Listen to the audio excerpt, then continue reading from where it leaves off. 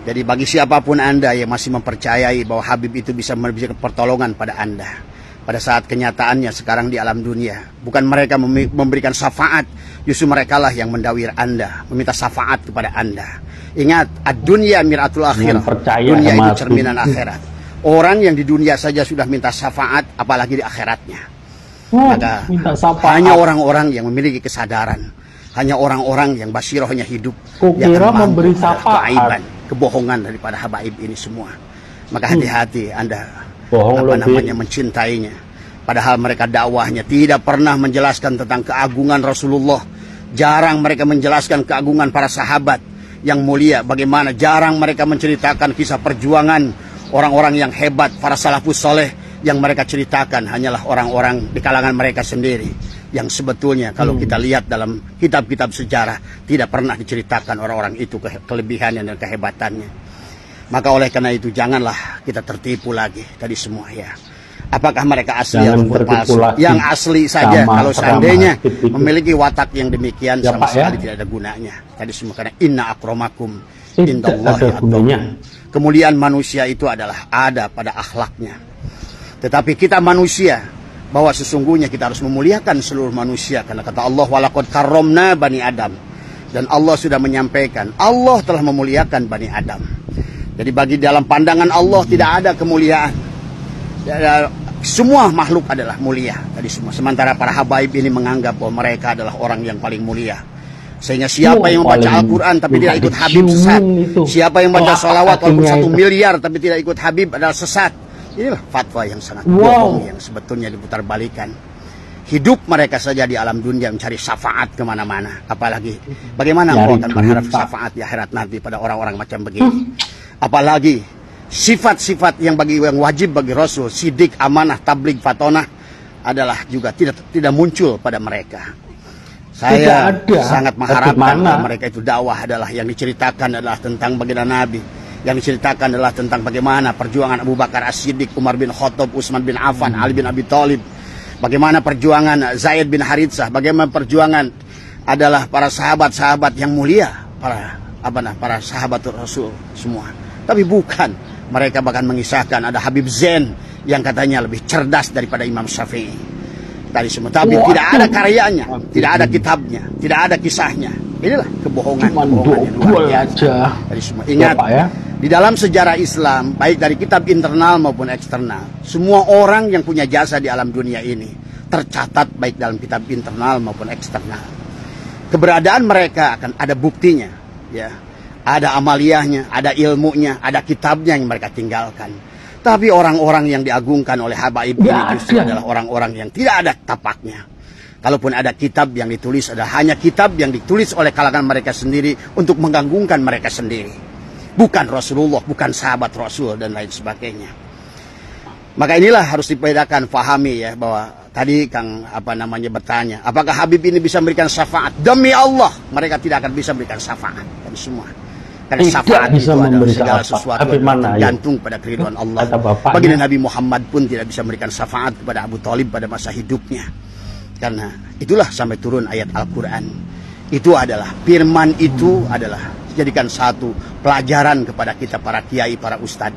Dalam berdakwah kita jangan pernah kita memberikan jaminan kepada siapa pun karena semua hak prerogatif Allah. Rasulullah yang agung sekalipun tidak bisa memberikan jaminan. Sampai beliau berkata, "Ya Rasulullah, adakah manusia di alam dunia ini yang bisa apa ke surga dengan amalnya?" Kata Nabi, "La." Ditanya oleh Zaid uh, oleh Muad bin Jabal, "Ya Rasulullah, apa bagaimana dengan engkau termasuk aku?" Aku pun tidak akan bisa masuk surganya Allah kecuali dengan adanya rahmat dan ridho Allah Subhanahu wa taala.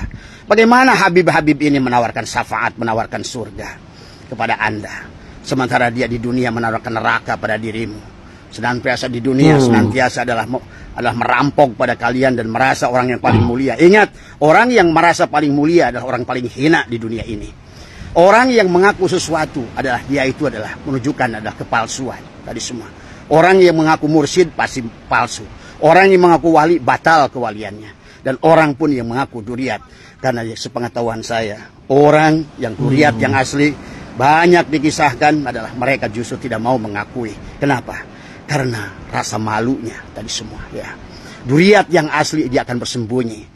Itulah kenapa para wali songo dan keturunannya ada yang disebut dengan Tubagus, ada yang disebut dengan Raden, Raden Roro, ada yang disebut dengan Ajengan, ada yang disebut dengan Aceng, ada yang disebut dengan banyak karena mereka sama sekali ingin sembunyi di masyarakat. Karena membawa nama Rasulullah itu tidak mudah, sahabat. Membawa nama manusia yang Benar, agung itu tidak mudah. Karena apa pun kesalahanmu akan dinisbatkan kepadanya. Bagaimana mungkin seseorang yang mengatakan dalam tubuh ini ada mengalir darah Rasulullah, sementara perbuatannya lebih mirip perbuatan iblis tadi semua ya. Dan Anda yang mempercayainya adalah merupakan bagian daripada mereka. Maka kalau menurut saya, kalau di dalam hati kalian masih ada kecintaan kepada mereka, sesungguhnya adalah ada sesuatu adalah apa namanya pi kulubihim maradun fazadahumullahu marado. Pasti ada penyakit di hati kalian. Maka oleh karena itulah ada penyakit Kenapa Allah kunci khatamallahu ala kulubihim wala sam'ihim wala absarihim. Hanya kita orang-orang yang memiliki kesadaran yang akan melihat Rasulullah dengan benar, melihat hak Allah dengan benar, kita akan mengerti kepada siapa kita akan mengikut tadi semua ya. Maka pahami oleh kita. Nah, ada yang keempatnya adalah selain apa nama Ahlul Bait, Duriyatul Rasul, Alu Muhammad, ada Idratul Rasulillah. Ini adalah sekelompok manusia memang. Walaupun dia tidak maksum tapi dia mahfud. Adalah golongan mereka-mereka adalah para aulia Allah yang dari dan mulai zaman sahabat dia sampai sekarang musalsalah mereka adalah orang yang senantiasa dijaga kemuliaannya oleh Allah. Maka kalau ditanya seseorang itu pasti kalau dia seorang aulia pasti bapaknya seorang aulia. Terus sampai kepada baginda Nabi. Itulah disebut idratul Rasulillah. Dia sanad ilmunya sampai kepada Rasulullah dan juga dia sanad nasabnya adalah juga sampai kepada Rasulullah. Yang sanad nasabnya sampai kepada Rasulullah pun tidak ada gunanya selama dia tidak sebagaimana Kanan adalah sanad nasabnya jelas kepada kepada Nabi Nuh, tapi Allah tidak mengakuinya, tidak menerimanya. Karena pada dasarnya ingat dalam diri kita ada dohir, ada batin. Ada diri yang dohir, ada diri yang batin. Diri yang batin adalah berkaitan dengan syahadatu tauhid la ilaha illallah. Berarti diri yang batin adalah adalah ketersambungan kita dengan Allah. Sementara diri yang dohir adalah Muhammadur Rasulullah. Ketersambungan kita dengan kekasihnya adalah utusannya dalam dunia ini. Maka itulah sahabat kenapa dalam Al-Quran Allah berfirman. Siapa yang tidak bertemu dengan Allah dan Muhammad. Tidak kenal dengan Allah dan Muhammad di dunia ini tadi semua. Maka dia tidak akan bertemu dengan Allah dan Muhammad di akhirat nanti. Wa man kana fi hadil ama bahwa fil akhirati ama. Itu saja Kang Budi yang jawaban dari Abah tadi semua. Jadi kalau hmm. ada dari ceramah-ceramah Habib itu mengatakan bahwa kami bisa memberikan syafaat hanya lewat kami lah tadi semua. Bohong. Semua oh. itu. Ya. Ingat bohong, sekali guys. lagi. Mereka itu jauh daripada daripada akhlak-akhlak. jangankan akhlak Rasulullah. Jangankan akhlak sahabat Jangankan ahlak tabiin, maka kalau kita lihat lebih banyak lebih lebih ahlak Abu Jahal daripada kepada para sahabat semua ya. Mereka hanya mengajarkan kebencian, mengadu domba, mencaci maki, mengagung-agungkan klan-klannya tapi tidak mengagungkan Rasulullah, tidak mengagungkan para sahabat Rasul, tidak mengagungkan salafus soleh yang telah berjuang untuk agama ini. Jangan salah sekali lagi. Saya bicara dari hati nurani yang paling dalam mengajak pada Anda semua, jangan bergantung pada kayu yang lafuk. Orang-orang yang kayak Rizik Sihab, kayak Bahar bin Samir, demi Allah itu orang-orang yang kalau orang yang sudah mampu melihat dengan basiroh sangat buruk orang itu, kau ikuti akan maka kau akan mendapatkan akibatnya. Jangankan di akhirat, di dunia saja.